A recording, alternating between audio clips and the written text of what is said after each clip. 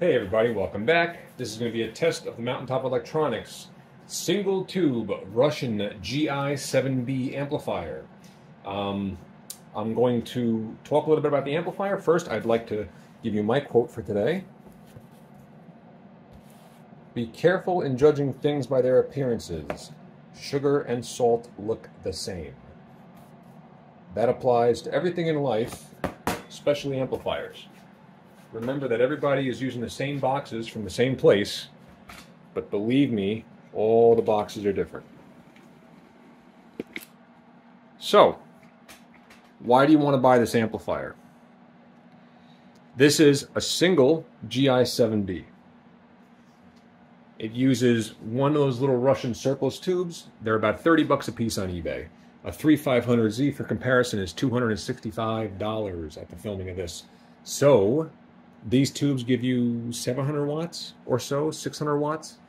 Um, I've seen up to 750 for $30, you know, shipped to your door.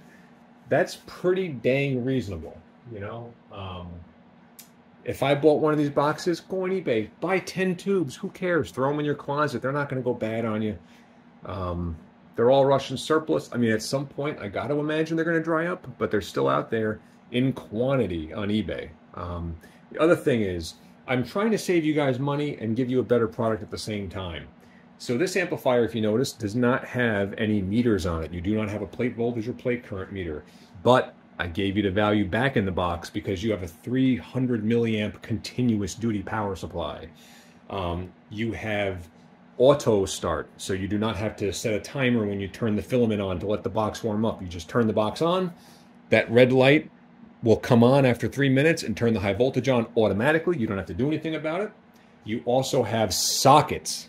Yes, so if you have a tube failure or for whatever reason you need to replace the tube, after you discharge the supply, you just grab the tube and pull it out, pop a new tube in, you're done. You don't have to go underneath and monkey around with nuts and bolts and fasteners and things.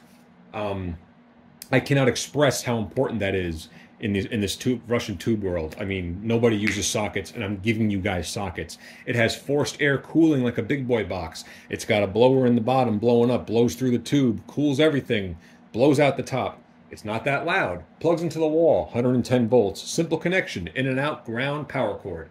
Simple amplifier, fixed tuned input. All you need to do is touch the tune and load, and you're done. That's it. Very simple amplifiers. Um, this is a fantastic driver. Um, you can get your, you know, 600 watts, your 700 watts, whatever out of it, and you can, you know, use it for your big box. You can make this your big box.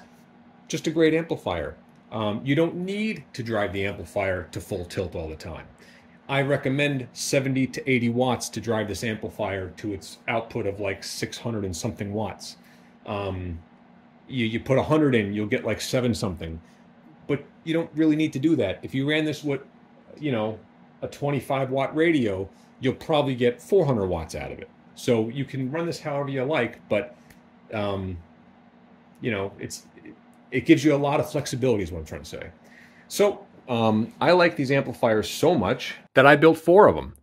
I've got four of these in stock, ready to go, built brand new tubes with sockets. Plug the tubes right in, ready to go. You can't beat them. All right, so let's get on with the test.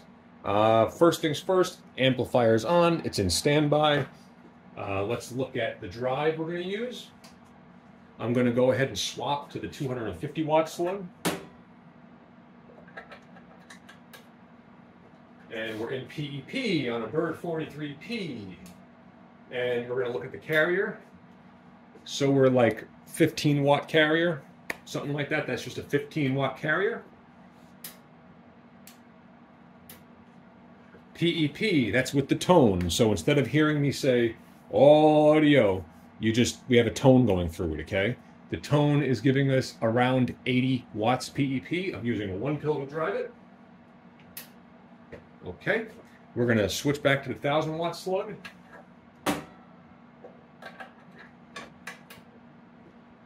Put the box into AM. Okay, 1000 watt slug. And we are at, let's load this thing a little better.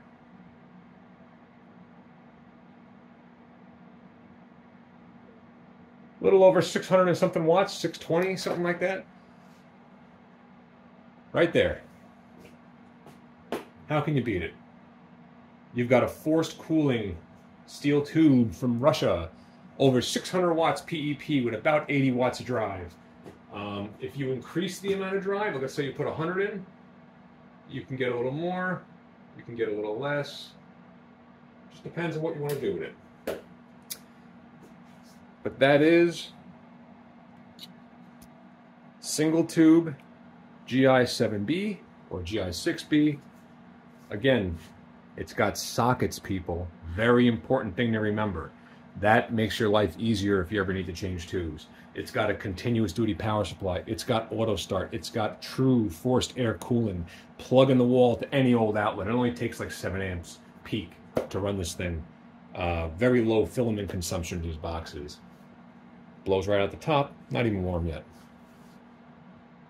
These are a thousand bucks a piece. I'll ship them anywhere. I'll throw them in a UPS box and send them right to your door. You got four of them ready to go right now. Thousand bucks a piece. Thanks for watching.